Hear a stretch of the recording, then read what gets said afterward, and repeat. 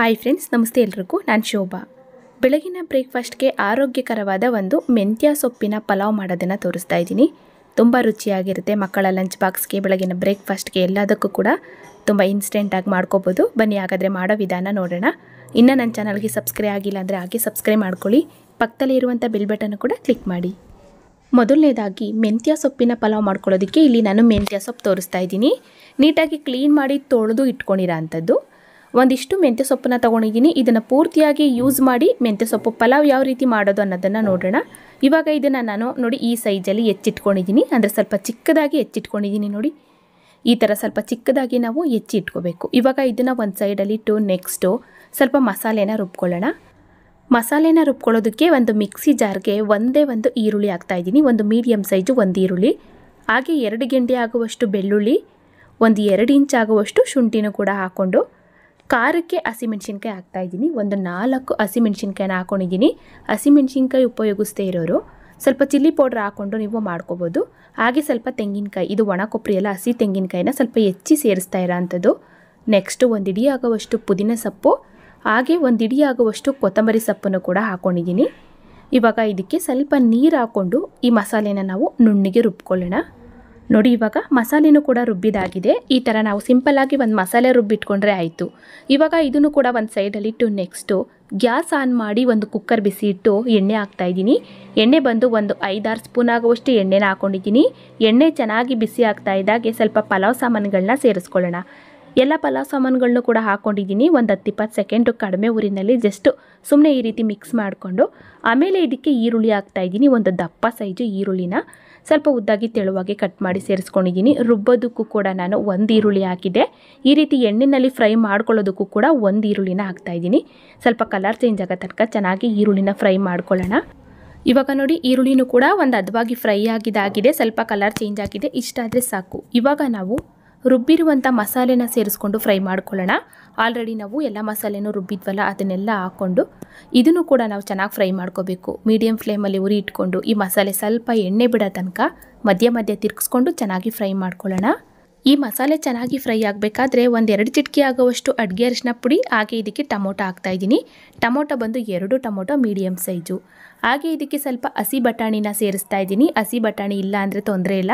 ನೀವು ಸ್ಕಿಪ್ ಮಾಡಿ ಮಾಡ್ಬೋದು. ಅಥವಾ ಒಣಗಿರೋ ಅಂಥ ಬಟಾಣಿನ ನೀವು ಓವರ್ ನೈಟು ನೀರಲ್ಲಿ ನೆನೆಸಿ ಅದನ್ನು ಕೂಡ ಹಾಕಿ ಮಾಡ್ಬೋದು, ಅದು ಕೂಡ ಚೆನ್ನಾಗಿರುತ್ತೆ.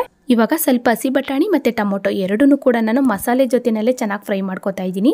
ಮಸಾಲೆನೂ ಕೂಡ ಚೆನ್ನಾಗಿ ಫ್ರೈ ಆಗಬೇಕು, ಟೊಮೊಟೊನೂ ಕೂಡ ನಮಗೆ ಚೆನ್ನಾಗಿ ಸಾಫ್ಟ್ ಆಗಬೇಕು. ಇವಾಗ ನೋಡಿ ಮಸಾಲೆನೂ ಕೂಡ ಫ್ರೈ ಆಗಿದ್ದಾಯಿತು ಟೊಮೊಟೊನೂ ಕೂಡ ಒಂದು ಅದ್ವಾಗಿ ಸಾಫ್ಟ್ ಆಗಿದೆ. ಇವಾಗ ಎರಡು ಸ್ಪೂನು ಧನಿಯಾ ಪುಡಿ, ಒಂದು ಅರ್ಧ ಸ್ಪೂನಷ್ಟು ಗರಂ ಮಸಾಲನ ಹಾಕ್ಕೊಂಡಿದ್ದೀನಿ ನೀವೇನಾದರೂ ರುಬ್ಬುವಾಗ ಹಸಿಮೆಣ್ಸಿನ್ಕಾಯಿ ಹಾಕಿಲ್ಲ, ನಾವು ಹಸಿಮೆಣ್ಸಿನ್ಕಾಯಿ ತಿನ್ನಲ್ಲ ಅಂತ ನೀವು ಈ ಟೈಮಲ್ಲಿ ನಿಮಗೆ ಎಷ್ಟು ಬೇಕೋ ಖಾರಕ್ಕೆ ಅಷ್ಟು ಚಿಲ್ಲಿ ಪೌಡ್ರನ್ನ ಹಾಕ್ಕೊಂಡು ಮಾಡ್ಕೋಬೋದು. ಇವಾಗ ಒಂದೆರಡು ಸ್ಪೂನ್ ಹಾಕೋಷ್ಟು ಧನಿಯಾ ಪುಡಿ ಮತ್ತು ಸ್ವಲ್ಪ ಗರಂ ಮಸಾಲನ ಹಾಕ್ಕೊಂಡು ಫ್ರೈ ಮಾಡ್ಕೊತಾ ಇದ್ದೀನಿ. ಒಂದೇ ಒಂದು ಎರಡು ನಿಮಿಷ ಇದನ್ನು ಚೆನ್ನಾಗಿ ಫ್ರೈ ಮಾಡಿಕೊಂಡು ಆಮೇಲೆ ನಾವು ಇದಕ್ಕೆ ನೀರು ಸೇರಿಸ್ಕೊಳ್ಳೋಣ. ಈ ನೀರು ಸೇರಿಸೋದಕ್ಕಿಂತ ಮುಂಚೆ ನಾವು ಈ ಮೆಂತ್ಯ ಸೊಪ್ಪನ್ನು ಹಾಕ್ಕೊಂಡು ಒಂದು ಎರಡು ನಿಮಿಷ ಫ್ರೈ ಮಾಡ್ಕೊಳ್ಳೋಣ. ಈ ರೀತಿ ಮಾಡೋದ್ರಿಂದ ಮೆಂತ್ಯ ಸೊಪ್ಪಿನ ಪಲಾವ್ ಸ್ವಲ್ಪ ಹಸಿ ಸ್ಮೆಲ್ ಬರಲ್ಲ, ಮತ್ತು ನಮಗೆ ತಿನ್ನುವಾಗ ಕಹಿನೂ ಕೂಡ ಒಂದು ಸ್ವಲ್ಪನೂ ಬರಲ್ಲ, ತುಂಬ ಚೆನ್ನಾಗಿ ಬರುತ್ತೆ. ಇವಾಗ ಎಲ್ಲ ಮೆಂತ್ಯ ಸೊಪ್ಪನ್ನು ಕೂಡ ಹಾಕಿದಾಯಿತು. ಮಸಾಲೆನಲ್ಲಿ ಇದನ್ನು ಕೂಡ ಒಂದು ಎರಡು ನಿಮಿಷ ನಾವು ಚೆನ್ನಾಗಿ ಫ್ರೈ ಮಾಡಿಕೊಂಡು ಆಮೇಲೆ ನಾವು ನೀರು ಸೇರಿಸ್ಕೊಳ್ಳೋಣ. ಇವಾಗ ನೋಡಿ ಮೆಂತ್ಯ ಸೊಪ್ಪನ್ನ ನಾನು ಒಂದೆರಡು ನಿಮಿಷ ಚೆನ್ನಾಗಿ ಫ್ರೈ ಮಾಡ್ಕೊಂಡಿದ್ದೀನಿ. ಇವಾಗ ಇದು ಕರೆಕ್ಟಾಗಿ ರೆಡಿಯಾಗಿದೆ. ಇವಾಗ ನೀರು ಹಾಕ್ತಾಯಿದ್ದೀನಿ ನೀರು ಬಂದು ನಾನು ಅಕ್ಕಿ ಯಾವ ಕಪ್ಪಲ್ಲಿ ನೆನೆಸಿಟ್ಕೊಂಡಿದ್ದೀನಿ ಅದೇ ಕಪ್ಪಲ್ಲಿ ನಾಲ್ಕು ಕಪ್ ಆಗುವಷ್ಟು ನೀರು ಹಾಕ್ತಾಯಿದ್ದೀನಿ ಎರಡು ಕಪ್ ಅಕ್ಕಿಗೆ ನಾಲ್ಕು ಕಪ್ಪು ನೀರು ಹಾಕ್ಕೊಂಡಿದ್ದೀನಿ ನಾರ್ಮಲಾಗಿ ನಾವು ಮನೆಯಲ್ಲಿ ಯೂಸ್ ಮಾಡುವಂಥ ಅಕ್ಕಿಯಿಂದನೇ ಮಾಡ್ತಾ ಇರೋದು. ಹಾಗಾಗಿ ನಾನು ಎರಡು ಕಪ್ ಅಕ್ಕಿಗೆ ನಾಲ್ಕು ಕಪ್ ನೀರನ್ನ ಹಾಕೊಂಡಿದ್ದೀನಿ. ರುಚಿಗೆ ಉಪ್ಪನ್ನು ಕೂಡ ಹಾಕಿದ್ದೀನಿ. ಈಗ ಚೆನ್ನಾಗಿ ಒಂದ್ಸಲ ಮಿಕ್ಸ್ ಮಾಡಿಕೊಂಡು ನೀರನ್ನ ನಾವು ಕುದಿಯೋದಕ್ಕೆ ಬಿಡೋಣ. ಇವಾಗ ನೀರು ನೋಡಿ ಕುದಿಯೋದಕ್ಕೆ ಸ್ಟಾರ್ಟ್ ಆಗಿದೆ. ಈ ರೀತಿ ಕುದಿಯುವಾಗ ನಾವು ಆಲ್ರೆಡಿ ನೆನೆಸಿ ಇಟ್ಕೊಂಡಂತಹ ಈ ಅಕ್ಕಿನ ಸೇರಿಸ್ಕೊಳ್ಳೋಣ. ಒಂದು ಹದಿನೈದು ನಿಮಿಷ ಅಕ್ಕಿನ ನಾವು ಚೆನ್ನಾಗಿ ನೆನೆಸ್ಕೊಂಡ್ರೆ ಅನ್ನ ತುಂಬ ಸಾಫ್ಟಾಗಿ ಬರುತ್ತೆ. ಇವಾಗ ನೋಡಿ ಎಲ್ಲ ಅಕ್ಕಿನೂ ಕೂಡ ಸೇರಿಸಿದಾಯಿತು. ಒಂದ್ಸಲ ನಾವು ಚೆನ್ನಾಗಿ ಈ ರೀತಿ ನಿಧಾನವಾಗಿ ಮಿಕ್ಸ್ ಮಾಡಿಕೊಂಡು ಕಡಿಮೆ ಹುರಿನಲ್ಲಿ ನಾವು ಬೇಯಿಸ್ಕೋಬೇಕು. ಹೈ ಫ್ಲೇಮಲ್ಲಿ ಬೇಯಿಸಬಾರ್ದು, ಅನ್ನ ಎಲ್ಲ ಮೆತ್ತಗಾಗ್ಬಿಡುತ್ತೆ. ಕಡಿಮೆ ಉರಿನಲ್ಲಿ ಬೇಯಿಸ್ಕೊಳ್ಳೋಣ. ಇವಾಗ ನೀವು ನೋಡ್ತಾ ಇರ್ಬೋದು, ನಾನು ಇದೇ ಥರ ಕಡಿಮೆ ಉರಿನಲ್ಲಿ ಒಂದು ಅರ್ಧ ಭಾಗ ಅನ್ನನ ಬೇಯಿಸ್ಕೊಂಡು ಆಮೇಲೆ ಕುಕ್ಕರ್ ಕ್ಯಾಪ್ ಹಾಕ್ತೀನಿ. ಈ ರೀತಿ ಮಾಡೋದ್ರಿಂದ ಮಸಾಲೆ ಮೇಲೆ ಕೆಳಗೆ ಅರ್ಧವಾಗಿ ಕೂತ್ಕೊಳ್ಳುತ್ತೆ. ಮಸಾಲೆ ಒಂದೇ ಕಡೆ ನಿಂತ್ಕೊಳ್ಳಲ್ಲ ನೋಡಿ. ಒಂದು ಅರ್ಧ ಭಾಗ ಅನ್ನನೂ ಕೂಡ ಬೆಂದಿದ್ದಾಗಿದೆ ಫೈನಲ್ ಆಗಿ ಈ ರೀತಿ ನಾವು ಚೆನ್ನಾಗಿ ಒಂದ್ಸಲ ಮಿಕ್ಸ್ ಮಾಡಿಕೊಂಡು ಕುಕ್ಕರ್ ಕ್ಯಾಪ್ ಹಾಕಿ ನಾವು ಒಂದು ವಿಷಲು ಕೂಡ ತೆಗಿಬಾರ್ದು. ಬೇಗ ಗ್ಯಾಸ್ ಆಫ್ ಮಾಡಬೇಕು.